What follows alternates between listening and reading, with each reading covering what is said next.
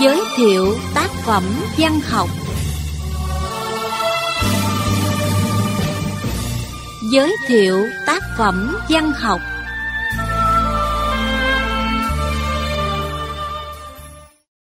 Quý vị và các bạn thân mến, bắt đầu từ chương trình đêm nay, chúng tôi giới thiệu đến quý vị và các bạn tiểu thuyết có tựa đề Đối chiến, tác phẩm của nhà văn Khuất Quang Thụy.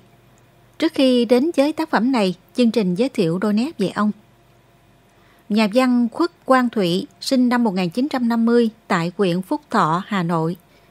Năm 1967, ngay sau khi tốt nghiệp phổ thông trung học, ông đã nhập ngũ chiến đấu trong đội hình sư đoàn 320, đại đoàn Đồng Bằng. Tại các mặt trận nổi tiếng là ác liệt như Quảng Trị, Tây Nguyên. Năm 1976, ông được điều về trại sáng tác văn học của Tổng cục Chính trị và sau đó học trường viết văn Nguyễn Du khóa 1. Tốt nghiệp, nhà văn Quốc Quang Thụy về tạp chí văn nghệ quân đội lần lượt trải qua các chức vụ biên tập viên, trưởng ban văn xuôi, rồi phó tổng biên tập. Hiện ông có chân trong đảng đoàn và là ủy viên ban chấp hành Hội Nhà văn Việt Nam, kiêm tổng biên tập báo văn nghệ. Các tác phẩm chính của ông trong cơn gió lốc tiểu thuyết năm 1980, trước ngưỡng cửa bình minh tiểu thuyết năm 1985, Người ở bến Phù Dân tập truyện năm 1985, Không phải trò đùa tiểu thuyết năm 1985, Giữa ba ngôi chúa tiểu thuyết năm 1989, Gốc tâm tối cuối cùng tiểu thuyết năm 1990, Người đẹp xứ đoài tiểu thuyết năm 1991, Đối chiến tiểu thuyết năm 2010, dân dân. Quốc Quang Thụy đã được nhận các giải thưởng, giải thưởng nhà nước về văn học nghệ thuật năm 2007 cho cụm ba tiểu thuyết Trong cơn gió lốc, Không phải trò đùa và Gốc tâm tối cuối cùng. Giải thưởng văn học Bộ Quốc phòng năm 1984 với tiểu thuyết Không phải trò đùa. Năm 2004 với tiểu thuyết Những bức tường lửa trong mấy lời mở đầu của đối chiến, ông đã viết Bạn đọc quý mến, cuốn tiểu thuyết này được viết nên từ những trải nghiệm của riêng tôi và lấy cảm hứng từ một sự kiện lịch sử có thật. Chiến dịch Trường Chính Nam Lào mùa xuân năm 1971 Phía quân đội của chế độ cũ ở Sài Gòn gọi là Chiến dịch Lam Sơn 719. Tuy nhiên, cuốn sách này được viết theo ngôn ngữ và bút pháp của thể loại tiểu thuyết về bản chất, nó là một tác phẩm văn học hư cấu. Vì vậy, rất mong bạn đọc đừng thất vọng nếu như nhận thấy một vài sự việc con người được mô tả trong cuốn sách này không hoàn toàn giống như trong thực tế đã diễn ra. Trong cuốn sách tôi cũng có sử dụng tên của một vài nhân vật có thật, chỉ đơn giản vì họ là những nhân vật khá đặc biệt. Sử dụng những cái tên ấy sẽ giúp bạn đọc dễ hình dung ra cái khung của các sự kiện được lấy làm nền tảng cảm hứng cho cuốn sách mà thôi. Tuyệt nhiên không vì thế mà thay đổi bản chất tư duy nghệ thuật của tác giả. Nếu thấy bất tiện, bạn đọc có thể tùy tiện thay tên những nhân vật đó bằng những cái tên khác. Cuốn sách này tôi dành tặng cho đồng chí đồng đội thuộc Trung đoàn 64, Sư đoàn 320, những người đã góp phần làm nên những chiến công gian dội trên chiến trường đường chính Nam Lào mùa xuân năm 1971. Sau đây, mời quý vị và các bạn đến với tiểu thuyết Đối chiến.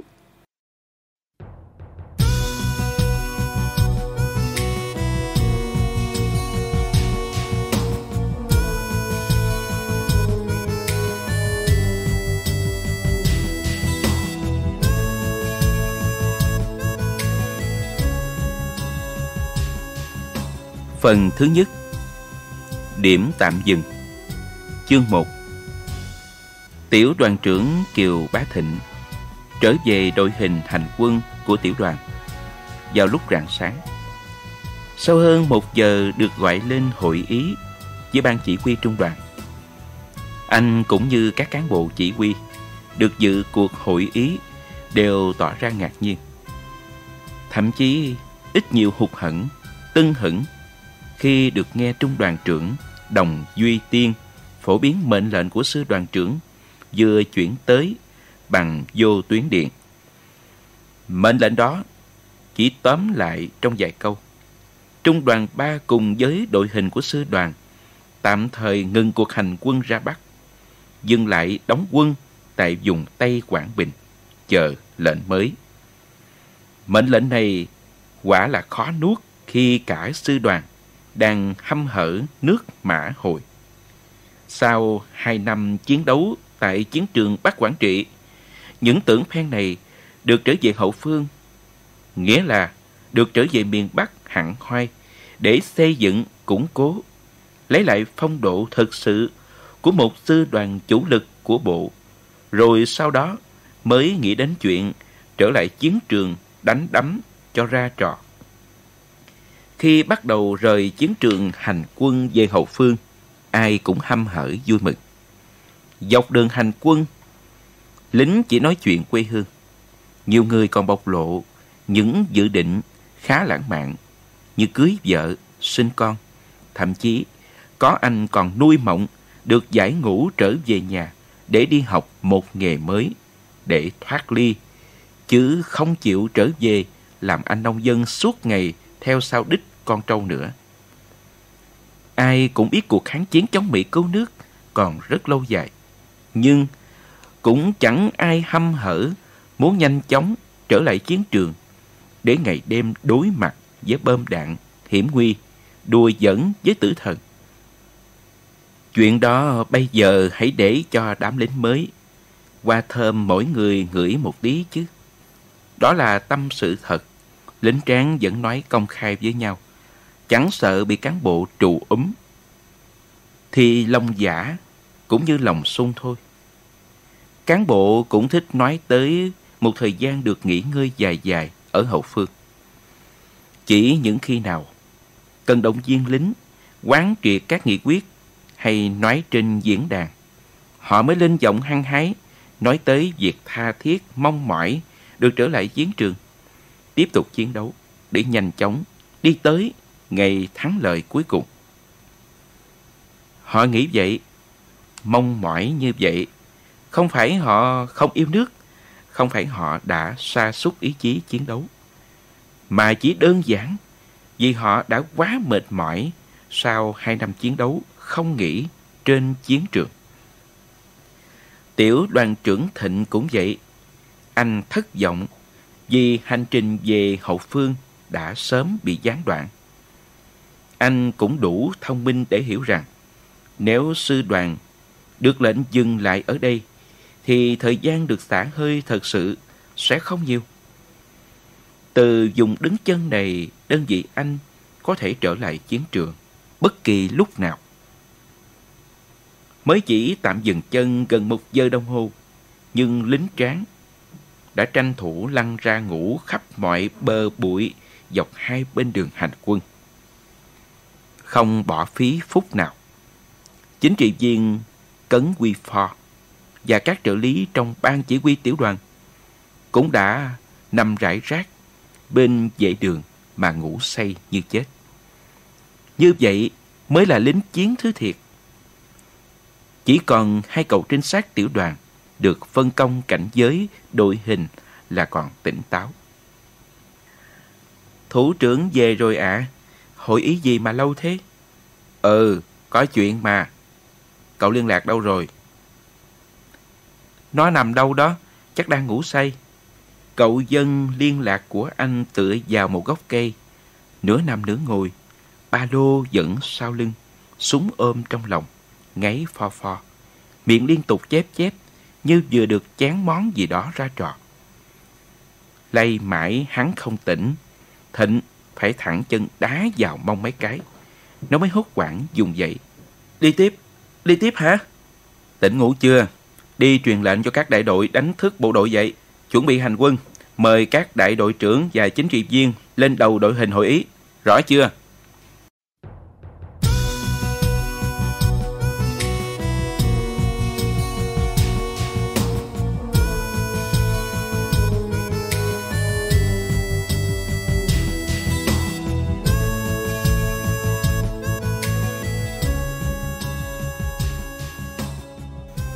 Dân vừa ngáp vừa cao nhau. Rõ, sáng bạch tới nơi rồi, Cho lính nghỉ luôn một giấc Mai đi có hơn không? Chính trị viên Pho cũng vừa tỉnh dậy Nghe loáng thoáng có tiếng của tiểu đoàn trưởng. Anh xốc lại ba lô Đứng dậy Tiến về phía tiểu đoàn trưởng Hỏi. Anh Thịnh về rồi hả? Có chuyện gì mà hội ý?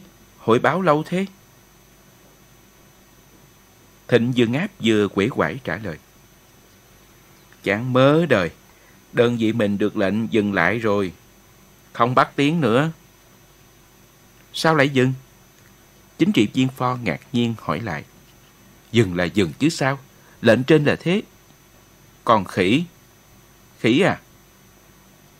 Là nói Lệnh trạng cái đồ con khỉ.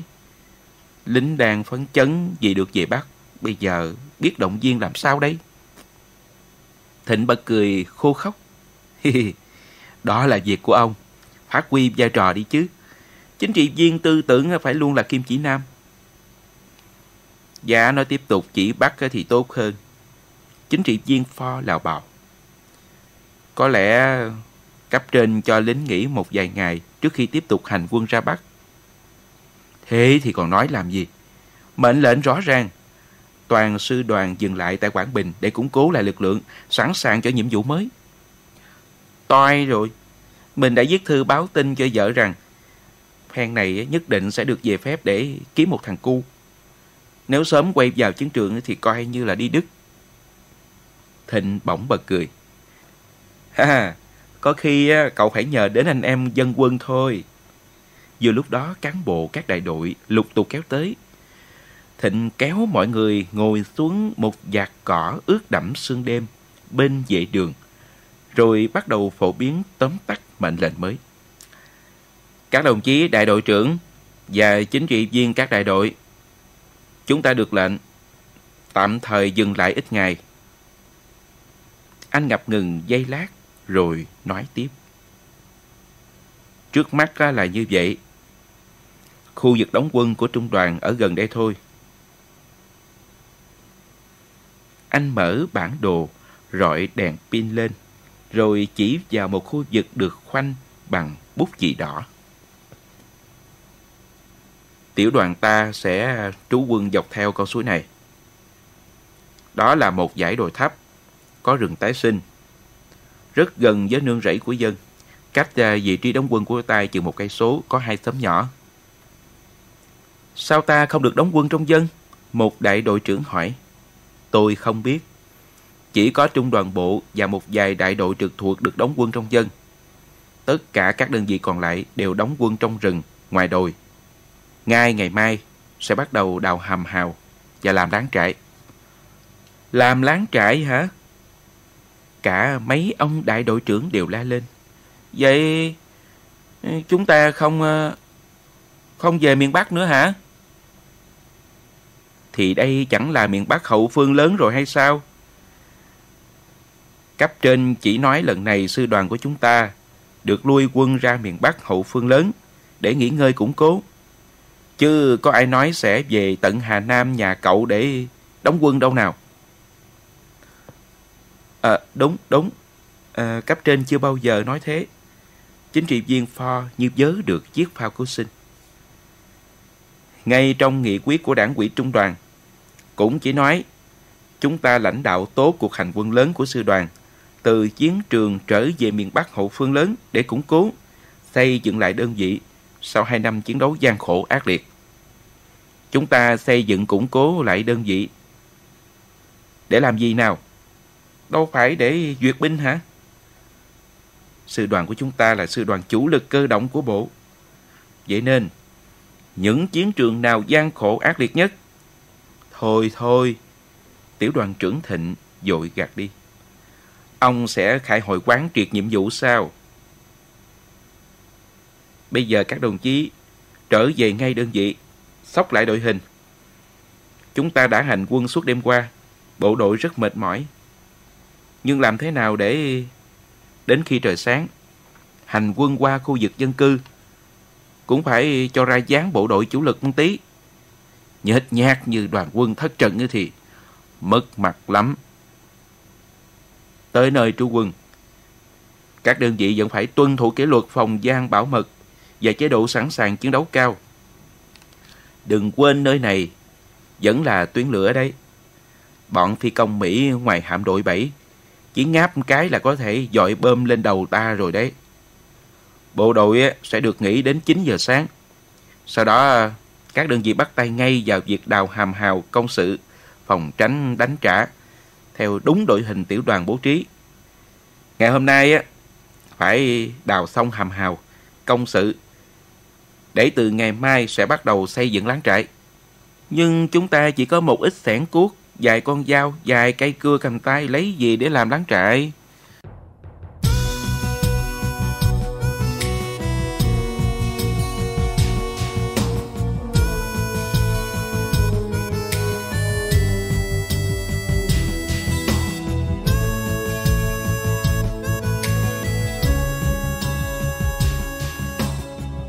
Tiểu đoàn trưởng Thịnh đứng dậy, nói giọng dạc. Trung đoàn sẽ cố gắng thu xếp cho mỗi đơn vị một ít dụng cụ. Còn lại thì phải khắc phục. Nên nhớ, chỉ với mấy con dao găm, dài cái cưa tay thôi, nhưng mà chúng ta cũng đã từng dựng được cả những khu vực kiền rất là hoành tráng. Thậm chí còn có cả những căn hầm lớn làm kho tàng, trạm cứu thương nữa. Không có việc gì lính không làm được. Thôi, nói vậy đủ rồi. Giải tán. Cả đồng chí về đơn vị quán triệt nhiệm vụ ngay. 30 phút nữa là hành quân. Khi các cán bộ đại đội đã tản đi hết, chính trị viên Pho mới thở ra một hơi dài. Hey, ông làm tôi hố quá. Nhưng mà cũng nhẹ cả người. Rốt cuộc nói thật vẫn cứ hơn phải không? Thịnh xua tay. Dơ dẫn. Việc gì cũng có lúc của nó. Ông đã được ngủ gần một giờ, khỏe hơn tôi. Vậy hãy chạy dọc đội hình xem bộ đội của mình chỉnh đốn trang phục có ra hồn không. Đứa nào ăn mặc rách rưới, lôi thôi bẩn thỉu quá thì bác nói dừng lại. Kiếm một bộ đồ tươm tất một tí mà thay đi. Người nào không có trang phục tử tế thì dồn dịch trong tiểu đội, trung đội để mỗi đứa phải có được một bộ quần áo cho coi được. Tôi không có muốn lính của tôi khi gặp dân mà trông như là một đội quân ăn mày. Chính trị viên Pho không nói gì, lặng lẽ xốc ba lô lên vai rồi chạy theo đội hình hành quân của tiểu đoàn. Tiến là một tiểu đoàn. Nhưng vào thời điểm này, tiểu đoàn của Thịnh chỉ còn hơn trăm người so với hồi đầu năm 1968, khi đơn vị bắt đầu nổ súng tham gia chiến dịch tổng tiến công Tết Mậu Thân, thì quân số chỉ còn một phần ba. Hai năm chiến đấu liên miên đã khiến tiểu đoàn rơi rụng mấy trăm lính. Số hy sinh, số bị thương bị loại khỏi dòng chiến đấu chiếm nhiều hơn cả. Tuy vậy, cũng có một số kẻ đào ngũ và chừng vài chục người còn mất tích. Lại nhớ hôm tập hợp toàn trung đoàn để chuẩn bị hành quân ra Bắc. Trung đoàn trưởng Đồng Duy Tiên đã ngậm ngùi nói với anh em cán bộ các tiểu đoàn. Hai năm trước, trung đoàn ta ra trận với hàng ngàn quân. Người lính nào cũng trẻ trung tươi đẹp như một rừng hoa. Toàn quân mũ sắt sáng ngời, quân phục mới tinh, khí thế như rồng như hổ. Vậy mà hôm nay, trung đoàn sơ sát thế này đây. Chúng ta đã đánh vài chục trận lớn nhỏ, lập những chiến công lẫy lừng, tiêu diệt hàng ngàn tên Mỹ. Nhưng phải nói thẳng, chúng ta cũng thương tích đầy mình. Trung đoàn thì thương tích đầy mình, nhưng thế quái nào mà cái thằng ta thì lại không dính phải hòn tên mũi đạn nào nhỉ? Đôi lúc Thịnh cũng thường tự hỏi mình như vậy. Và chẳng bao giờ anh tìm được câu trả lời thỏa đáng. Thôi thì cái số nó may mắn thế, biết làm sao được. Nhiều lần sau những trận đánh đẫm máu, nhìn đồng đội kẻ chết, người bị thương, nằm la liệt xung quanh, Thịnh cũng cảm thấy chạnh lòng. Đôi lúc, anh nảy ra những ý nghĩ rất là lẩn thẩn. Giá như mình cũng bị vài vết thương, dù chỉ qua quýt thôi thì cũng dễ ăn dễ nói hơn với anh em nhưng đánh mãi mà người ta vẫn trơ ra, nhẵn thính thì biết làm sao. Dần già cái chuyện tiểu đoàn trưởng thịnh đánh mãi mà vẫn cứ nhắn thính trở thành câu chuyện bàn tán trong anh em. Thậm chí có nhiều người rỉ tay nhau. Ông Thịnh có quý nhân phụ hộ, cào số lắm. Đi đánh trận với ông ấy thì nhất định sẽ chắc thắng mà còn chắc gáo nữa. Vì cái niềm tin lạ lùng ấy mà họ luôn sát cánh bên anh. Anh xông lên trước. Có lúc cũng hơi bạc mạng. Nhưng họ cũng hò nhau cùng anh xông lên chiến đấu. Vì thế mà tiểu đoàn anh đánh thắng nhiều trận. Trong đó có cả những trận thắng một cách may mắn lạ lùng. Vậy mà anh vẫn chưa một lần vinh dự được bị thương. Cái chuyện kỳ quái này rồi cũng đến tay trung đoàn trưởng tiên.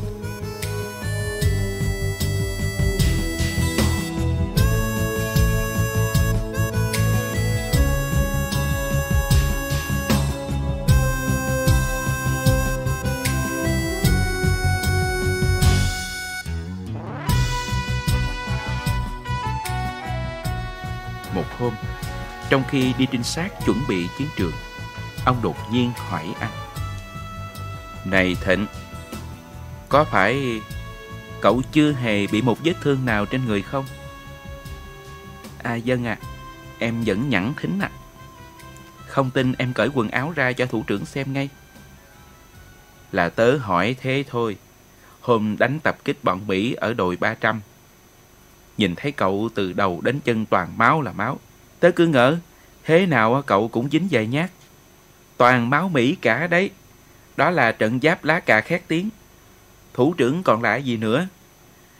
Trận ấy thằng Hân á, nó đâm quằn cả lê. Đến nỗi cái lê quằn của nó lôi từ trong bụng thằng Mỹ ra một đống ruột non ruột già, còn bốc khói nghi ngút. Trông phát khiếp luôn. Trung đoàn trưởng tiên chép miệng than. Tiếc quá. Ngay sau đó, cậu Hân cũng chết. Nếu không, có thể đề nghị tuyên dương nó thành anh hùng. Một mình diệt 12 tên Mỹ trong một trận giáp chiến. Đúng là triệu tử long tái thế. Thì nó đích thị là anh hùng rồi, cần gì phải đợi ai tuyên dương. Thịnh khẳng định rồi thở dài. Nhưng mà nó chết cũng thảm quá. Trúng nguyên một quả pháo bọn em mới chỉ nhặt được cái đầu nát bấy với hai cái cẳng chân. Không chết khi xung phong giáp chiến, mà lại chết khi lui quân mới đau chứ. Trung đoàn trưởng tiên bỗng trở nên ưu tư. Từ sau trận đó, thằng Mỹ dường như khôn hơn. Chẳng mấy khi bọn nó để cho ta có cơ hội đến gần chơi giáp chiến nữa. Bà này, các cậu ờ, cũng sáng ý biết giữ lại cây súng và lưỡi lê của cậu hơn. Mấy ông ngoài Tổng cục Chính trị vừa rồi vào sư đoàn hứa sẽ mang ra trưng bày tại bảo tàng đấy. Thịnh bịt miệng cười. Đồ rộm đấy bố ạ. À. Khẩu súng của thằng Hân ờ, cũng tan theo xác nó hôm ấy rồi. Hôm mấy tay phái viên sư đoàn và tổng cục gì đó xuống tiểu đoàn tôi xin thu lại khẩu súng có gắn lưỡi lê của thằng Hân để mang về làm hiện vật truyền thống. Tôi đã suýt nói thật. Mai sau ông Pho sáng ý bảo Ôi dào, súng thì khẩu nào chẳng giống khẩu nào. Ừ, cứ đưa đại cho các vị ấy một khẩu để mai này có cớ mà lưu danh cậu Hân nhà mình. Nhưng còn lưỡi lê bị công vì đâm bọn Mỹ thì sao? Thì lấy đại một cái, bẻ cong nó đi, rồi gắn vào súng. Muốn cẩn thận hơn thì sang thằng bốn quân y, lấy ờ, một bịch máu khô, hòa ra bôi đại vào đó. Thế là giống y như thật. Trung đoàn trưởng tiên tỏ vẻ ngạc nhiên. Các cậu, ờ, các cậu ngụy tạo hiện vật truyền thống như thế là là là có tội với lịch sử đấy. Thịnh cười xòa. Ôi dào, cụ cứ dân gì thì cái hôm đánh thiện xuân đầu màu xong Cụ chẳng bắt anh em đơn vị tôi lên diễn lại cho phóng viên quân đội quay phim chụp ảnh đấy thôi. Như thế chả là ngụy tạo à. Khi chúng ta đánh trận, mặt mũi dáng vẻ đâu có sang trọng được như thế. Trung đoàn trưởng trầm ngâm suy nghĩ giây lát, rồi bật ra một câu như lời của những triết nhân. Phải, lịch sử mà chúng ta góp phần làm nên, làm sao mà sang trọng khôn ngoan sạch sẽ được như lịch sử mai này người ta viết lại.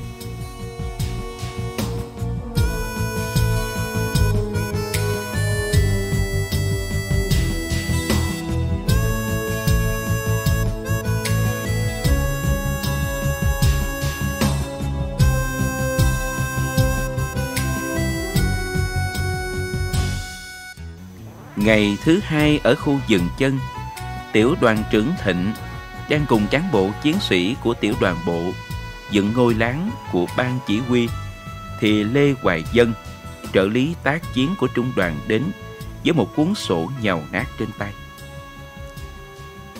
Chào tiểu đoàn trưởng, chào anh em.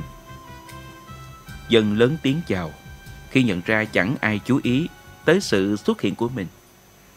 Tiểu đoàn trưởng Thịnh đang thắt lại mấy mối lạc trên nóc láng, giới xuống chào khách. Dân hả? quan trung đoàn xuống có việc gì thế? Ông anh nói thế thì thằng em ngọng rồi. Cấp trên sai em xuống xem các anh triển khai xây dựng doanh trại đến đâu rồi thôi. Thịnh đứng trên nóc nhà khoát tay. Mới được thế này thôi. Đấy là nhà chỉ huy, được ưu tiên mọi dụng cụ có sẵn thì mới được thế này đấy.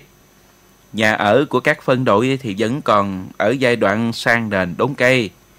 Lính của tiểu đoàn tớ còn phải màn trời chiếu đất hàng tuần nữa đấy. Hầm hố công sự thì thế nào anh? Hay cái đó thì dẫu có dùng tay mà bới cũng phải xong ngay từ hôm qua rồi. Cậu cứ yên chí báo cáo với trung đoàn rằng, nếu thằng Mỹ điên rồ nhảy xuống đây thì chúng tớ có thể hoại ngay được đấy. Đợi Thịnh từ trên nóc nhà tuột xuống, Dân mới ý tứ nói nhỏ. Anh nói thế, chứ tôi vừa đi một vòng. Thấy các phân đội của tiểu đoàn anh cũng đều đang dựng nhà cả rồi. Lính của anh nhanh chân, nên đã kịp vào à, mấy sớm gần đây mượn hết dụng cụ của dân. Các đơn vị khác chậm chân hơn nên còn lúng túng lắm. Thịnh bật cười ha hả. Thế hả? Vậy mà bọn này ừ, láo ca thật kêu các đơn vị cho người và dụng cụ lên chi viện cho ban chỉ huy tiểu đoàn thì thằng nào nó cũng nhăn nhó kêu là đang mua tay trong bị. Lát nữa tớ phải dạo qua các đơn vị một lượt mới được. Chứ nghe chúng nó báo cáo hồi sáng thì xem ra còn thê thảm lắm. À, còn chuyện này nữa. Dân rụt rè nói thêm.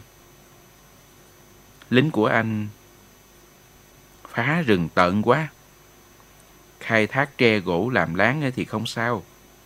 Nhưng anh em không chịu đi xa khu đóng quân. Cứ nhằm những vạt rừng hai bên suối chặt hạ bừa bãi thì trống trải hết. Và còn rất dễ bị lộ nơi đóng quân nữa. Có chuyện ấy à? chơi thật, tớ hoàng liều quá. Chúng nó cứ tưởng rút ra đến đây rồi thì thằng Mỹ nó chẳng tới được nữa chứ. Được rồi, tớ sẽ nẹt chúng nó. Nhưng mà cậu đừng báo cáo trung đoàn những chuyện ấy dội nha.